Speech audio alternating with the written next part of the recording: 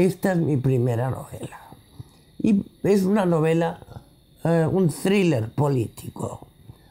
¿Por qué un thriller político? Pues porque el thriller político es realmente eh, bueno, lo que vemos todos los días, lo que habían hablado, lo que habían descrito los grandes dramaturgos, es decir, montones de cosas.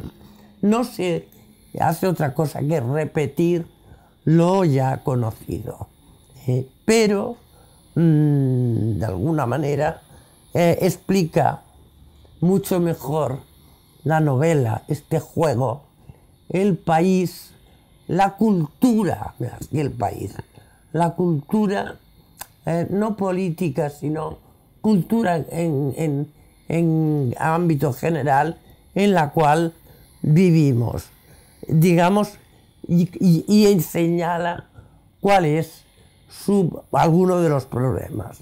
Este, este juego que es, que es la novela eh, permite a la novela llegar donde no llega el periodismo. Y yo creo que esta es la gracia de este texto, ¿eh? que sugiere muchas cosas y que permite al lector hacer toda clase de cábalas, por otra parte, ahora tan de moda. Entonces, llega la novela donde no llega el periodismo. Esta sería la pregunta.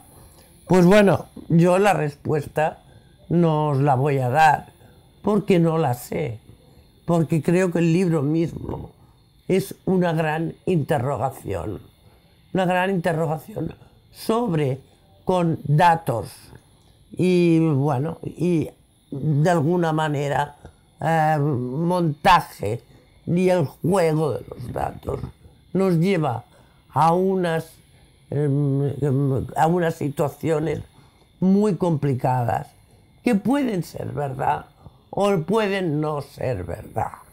¿eh? Y aquí, digamos, eh, es donde el lector puede poner su parte.